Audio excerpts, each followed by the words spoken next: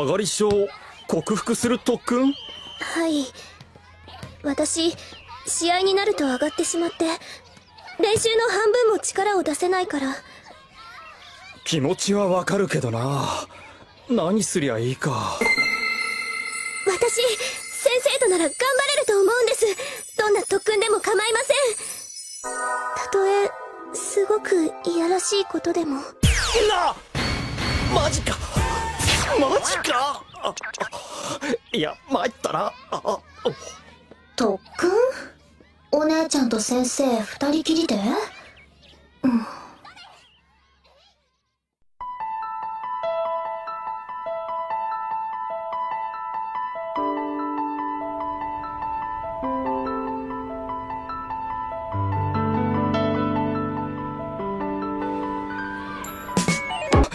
でもそれは大丈夫だよ先生。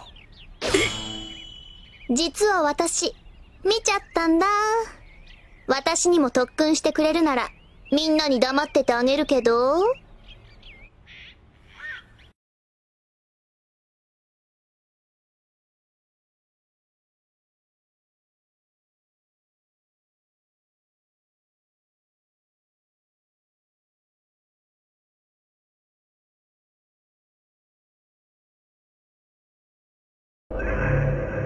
別にいいですけど先生と付き合ってるわけじゃないし私の一方的な行為だし。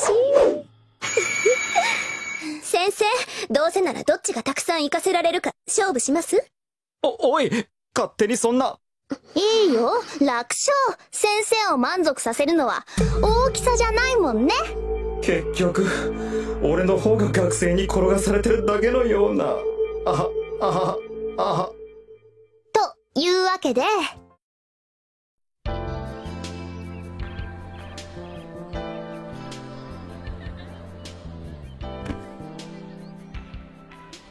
ビーチバレー部顧問の俺が二人の学生と関係を持つようになって1ヶ月。自分の中で彼女たちの存在が大きくなるにつれ余計な不安が頭をもたげる。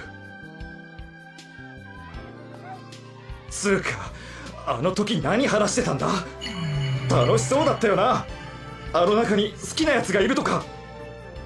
いやまさかな。ああ気になる。沙織ちょっと体育倉庫まで付き合ってくれ。おお？はい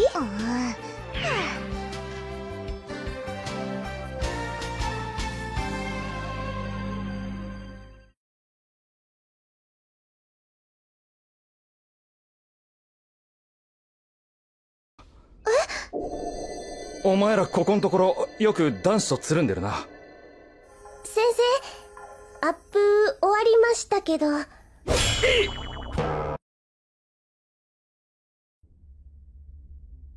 え今度は私が呼ばれたわけですか。なんだかな。お前たち何か隠してるだろう。俺に言えないことなのか？いいですよ先生ああもやもやする。くそ。まさかこの年になってこんな気持ちにさせられるとは。あれ？開いてる。ん？スペアキーはあいつらにも渡してあるが来てるのか？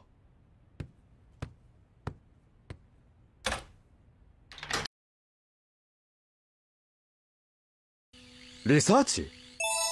男心をくすぐるコスチュームって何？って聞いたら7割強がメイドだったんだけど。うん。もしかして年下の意見じゃ大人に合わなかったのかも。大人か。じゃあ職業系？はあはい。そっか。こいつらも不安なんだ。俺と同じように。俺は嫉妬してたんだ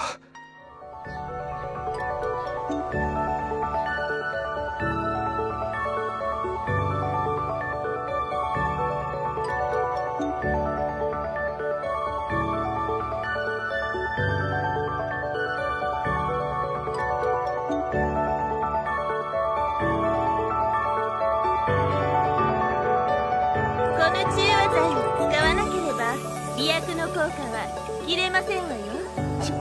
中和剤？早くそれを。差し上げないとは言っていませんわよ。お薬しゃぶってくださいな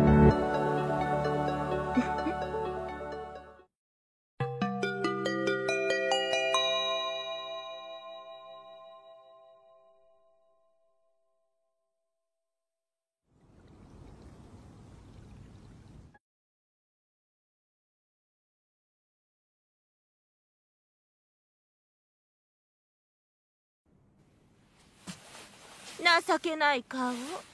まだ射精したりないんですわね。教え子二人の。こんなにけなげな教え子たちがこ濡らして待っているんですもの。できませんわよ。ね？悪い。お前も大切な俺の生徒だ。良い絵が撮れましたわね。バッチリ全部取れてます。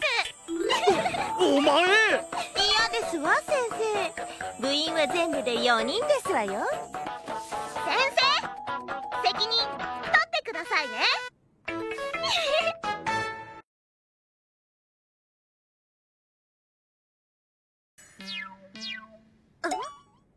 沙織部長？先生？っとこっちに来てくださいちょっと何してるのあなたたち。沙織も先生が好き。何ってそんなわけないじゃ大丈夫です部長の初めても鈴鹿がちゃんと記録しておきますの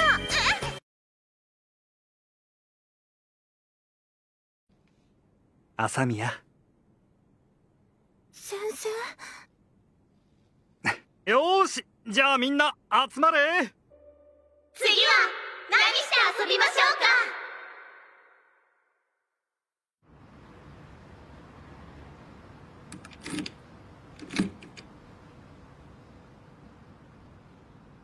先うん子作りしに来たですよ。え？お前らなんでここに？朝宮家の力をもってすれば鍵なんて合ってないものですわ。ただの不法侵入だろまずはいすず先輩からですね。おい。私たちもう決めたんです。先生の赤ちゃん産むって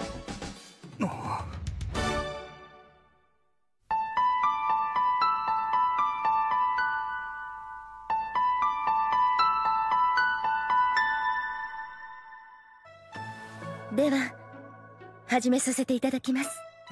男の子が欲しいです。まったく。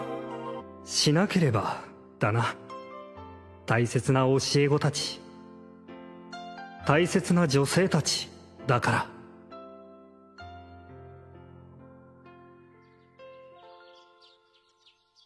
パパ？パパ？うわ眠ってたんですの？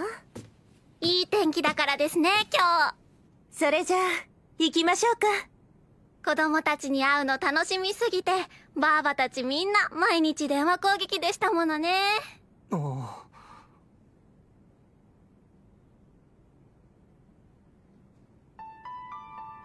いろんなことがあった。生きていく。パパ？まだ？今行く。